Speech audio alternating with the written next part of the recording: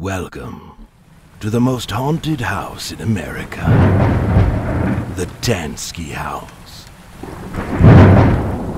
If you can spend three nights in this severely haunted house, you'll walk away with one million dollars.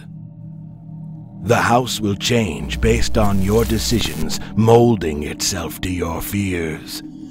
Three unique storylines, over 50 possible endings. Can you be scared? To death. Click your poison and get haunted by James Schannep. If you dare.